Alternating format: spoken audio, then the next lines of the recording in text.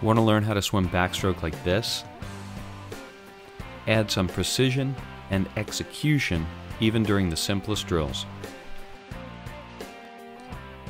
Sometimes even the most simple drill can take a new meaning when done with precision and execution.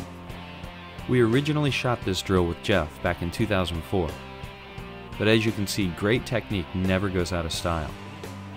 Take a look and see how an Olympic champion performs one of the simplest drills and how precise and accurate Jeff makes this.